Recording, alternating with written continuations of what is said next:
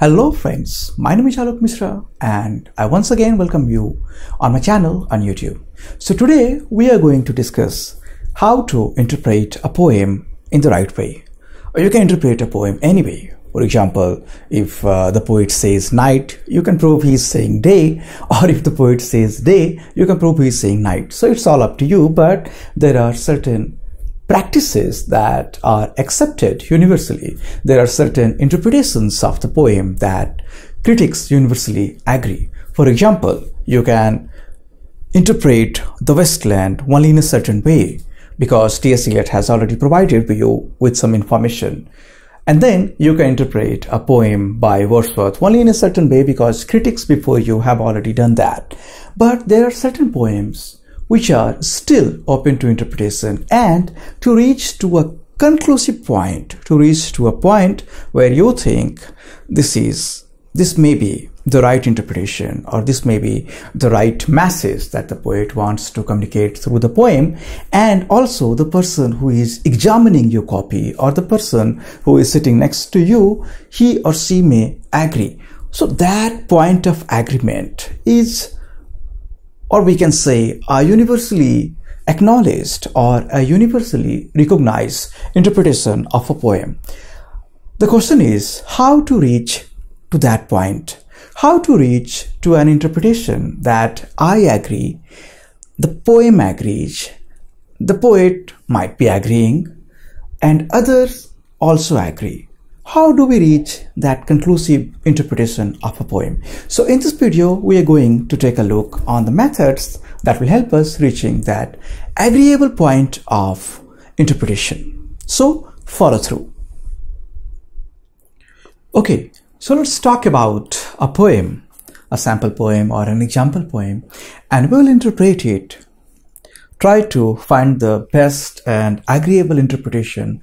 Try to find the conclusive point that you agree i agree and anyone else who observes this process agrees. So what do we do? First of all when we are given a poem and we are tasked that you should understand this poem and you should interpret this poem the right way. So the first step that you need to do is casually read the poem. Not in fact too casually. Just read the given poem once with free mind. You don't have to have any pressure. You don't have to have anything about the poet or the age or the collection of poetry. Nothing. You just go through the given text once. For example, we have picked up this poem. This is The Golden Treasury and this is D.H. Lawrence's poem, Sorrow. So, we will be going to interpret D.H. Lawrence's poem, Sorrow. The first, the first thing that we need to do is we should go through the text once with an open and free mind to find what might be hiding behind the lines, between the lines, and in the lines. So we go through the text once. So this is the text. If you have this book, you can find it there. I'll be reading it. Why does the thin grey strand floating up from the forgotten cigarette between my fingers, why does it trouble me? The second stanza. Ah, you will understand when I carried my mother downstairs. A few times only at the beginning of her soft foot melody. The final stanza I should find for a reprimand to my gaiety a few long grey hairs on the breast of my coat, and one by one I watched them float up the dark chimney.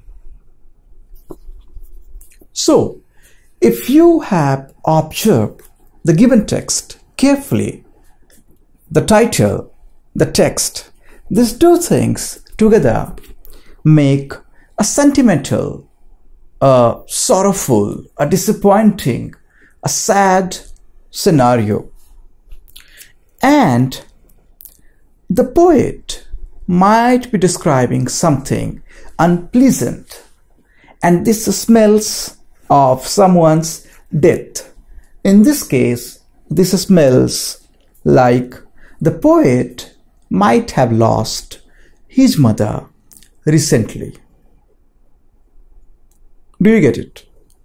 So once you go through the text, you will get some idea about the poem, some idea that might be the cause behind the process of poetry, the reason why the poet could have written the given poem. So the first read gives you enough fuel to carry on. The second thing that you need to do in order to interpret a given poem the right way is finding the common theme that binds all the stanzas together. Something that starts in the first line or right with the title and goes on until the poem ends. So in this case, what might be the common theme? So this is something you need to find. And for that, you may need to go through the poem's text once more, maybe one more time, maybe thrice, or if the need be, maybe one more time. So find out the common thread that binds the poem together. In this case, if we go through the poem Sorrow by D.H. Lawrence once more, we can easily find that sadness, memory, recollection, sense of separation or loss runs through the stanzas, right from the beginning to the end. And then finally, we may move to the final step, ascribing or assigning meanings to the stanzas. So in the first stanza, we might surmise that the poet is trying to remember something. So he clearly mentions floating up from the forgotten cigarette between my fingers. Why does it trouble me? So the poet might be remembering something, some memory that might be troubling him, or the memory that might be associated with his bereaved relative in this case, mother. In the second stanza, the poet may be questioning or maybe trying to find association with his readers when he asks, Ah, you will understand when I carried my mother downstairs a few times only at the beginning of her soft foot melody. The poet's mother might be ill she might be in pains, in trouble, in ailment, and the poet tries to find common cause, the association with his readers. He might be trying to invoke the sentiments in the readers. Do you remember losing someone? Do you remember being with someone in pain, in ailment, in illness, in disease? And then in the final stanza of the poem, the poet may be revealing everything. This may be the place or the point where the poet tells, see, this is the region of my ailment, of my sufferings, of my troubling memories. I should find for a reprimand to my gaiety a few long grey hairs on the breast of my coat, and one by one I watched them float up the dark chimney. So, this may be the final act, the act of letting someone go, and then being with memories to recollect to remember and to find the connection that may be lost with the person in body but still continues with the person in someone's heart or someone's memory. And this might make up a conclusive interpretation of the poem Sorrow by D.H. Lawrence. So this can be applied in case of any poem most of the times shorter poems because shorter poems have three, four, five, six, seven stanzas or maybe 20 lines, 30 lines, 40 lines maximum in case of uh, um, medium-sized poems like Thomas Gray's Elegy Written in a Country Churchyard or other poems by Wordsworth that may run up to 40 or 50 lines.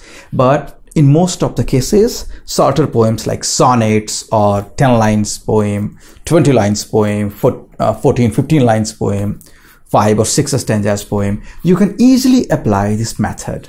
Go through the text in the first step, casually go through the text without being worried about the poet's stature, the age in which the poem might have been produced, the mental state, the physical state, or the political state of that particular age anything about the poet, about the poem, or about the age, or about the literature of that particular period, leave everything behind. In the first go, you have to be with the text only, like be the lemon juice squeezers, as T.S. Eliot might have called the school of the practical criticism people.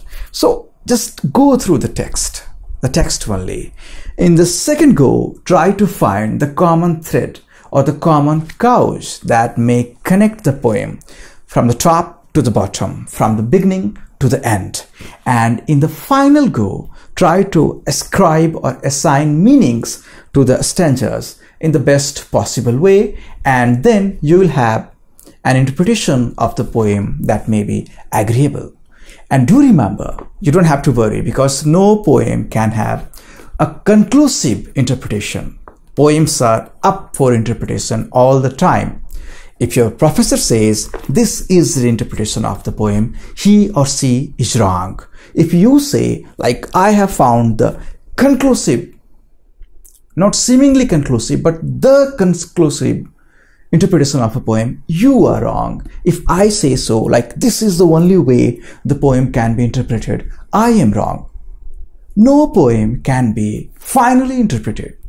It is always open for interpretations, for suggestions, for ideas, for new findings, unless you know the poet personally, you are the poet, the poet may have dialed you, hello, this is the interpretation, go with that, or the poet may have supplied you with elements that may help you in interpreting the poem. That was the case in T.S. Eliot's The Wasteland, he has supplied with notes as well. So it happens only rarely. Otherwise, a poem is always open to interpretations. So you don't have to worry about your interpretation being wrong or maybe going south, maybe going too far from the actual, the possibly actual interpretation. You just have to find out your opinions your best effort of interpreting a poem. And that is right. If you can bring an idea home, find the common thread, the common thing that goes on right from the top to the bottom and ascribe the best possible meanings and you do have an interpretation. So this was it for the day. Before I wrap things up, just let me summarize. The first step of interpreting any poem the best possible way is going through the text. Go through the text free of any burden in your mind. Just the, just the text and you. Go through the text, the first step. Second step is go through the text once, twice, thrice, or four times to find the common thread, the common theme that binds the poem together. In the final step, you have to assign meanings to the lines, to the stanzas, or to the sections of a given poem, and then you will have your interpretation ready. So that's it. So this is it for the day, and I'll be back with more videos very soon. All the best, do good, happy time. Thank you.